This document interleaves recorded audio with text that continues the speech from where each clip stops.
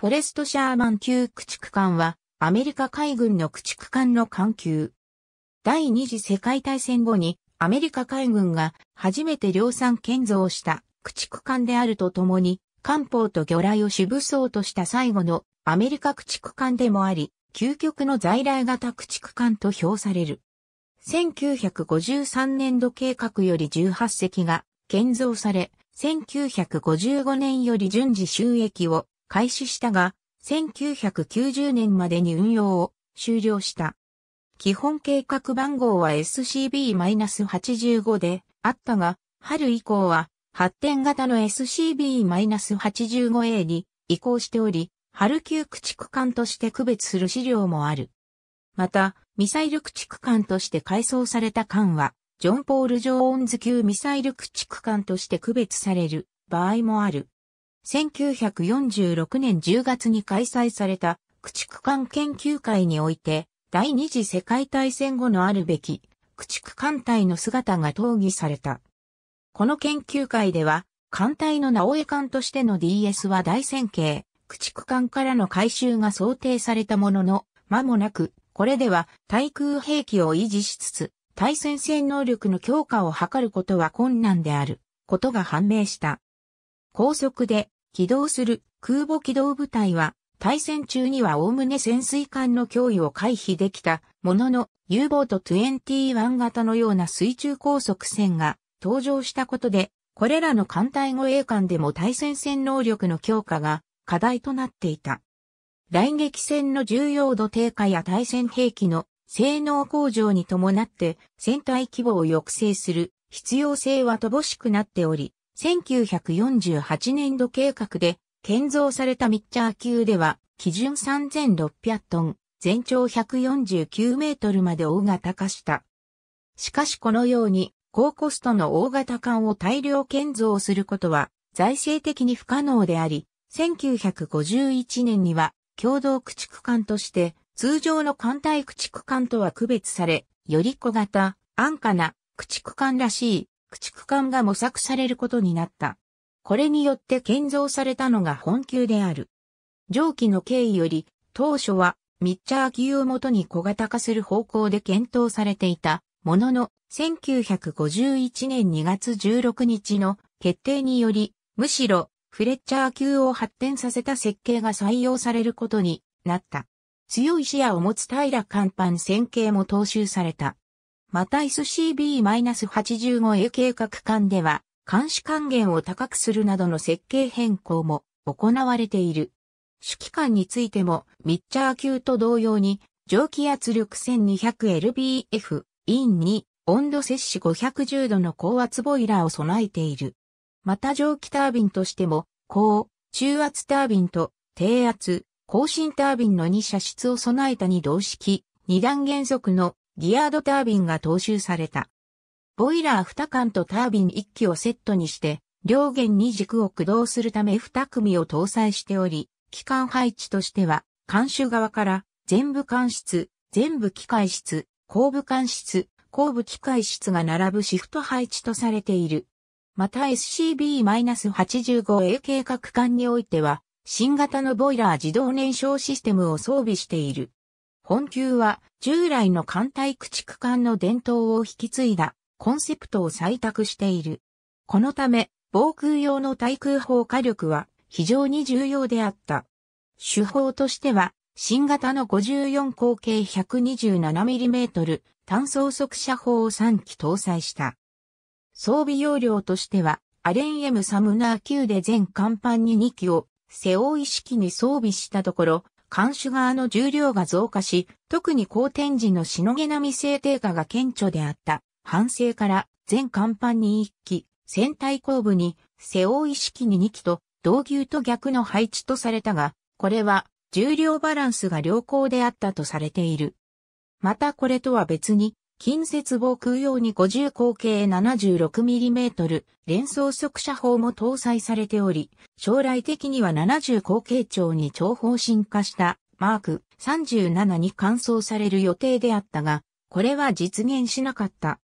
放射撃式装置としては、コインチ砲用の手法違反としてマーク68が環境上に5インチ砲用の副砲位板及び3インチ砲用の主砲位板としてマーク56が第2煙突上に搭載されているが、これらはいずれもアナログ計算機仕様、レーダー照準、自動追尾式の新鋭機であった。一方、対戦兵器に関しては、対戦任務艦であった共同駆逐艦や対戦駆逐艦、公用護衛艦と比してやや弱体であった。ソナーとしてはこれらと同じく 10kHz 級の案 SQS-4 を搭載したが、対戦前投げ兵器としては、これらの艦が搭載していたマーク 108-324mm 対戦ロケット砲や旋回式改良型のマーク15ヘッジホック、対戦迫撃砲ではなく、戦中世代の固定式マーク10ヘッジホックが搭載された。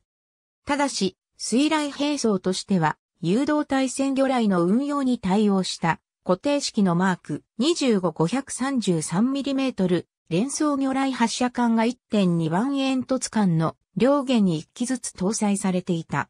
これらは後日の改装の際に新しく標準装備となったマーク32-3連装単魚雷発射管に換装された。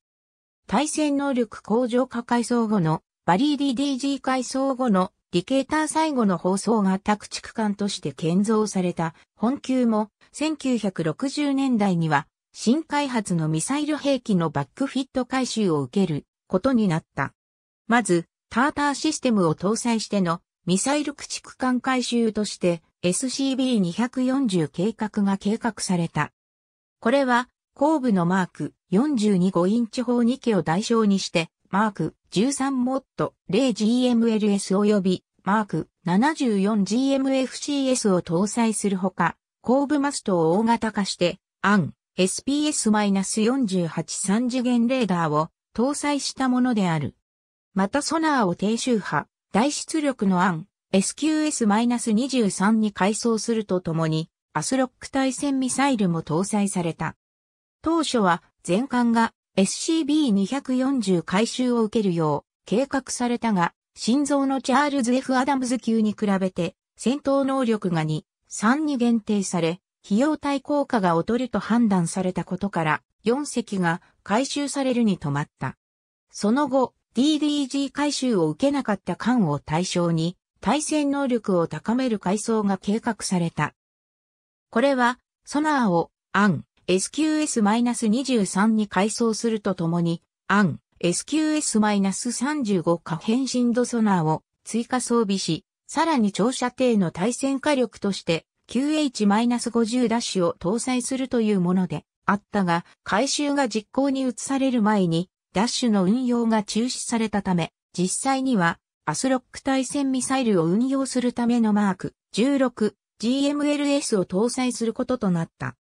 この回収は、当初は SCB-251 と呼ばれていたが、実際には最初に回収された DD-933 バリー以外の間に行われた回収は SCB-221 と呼ばれている。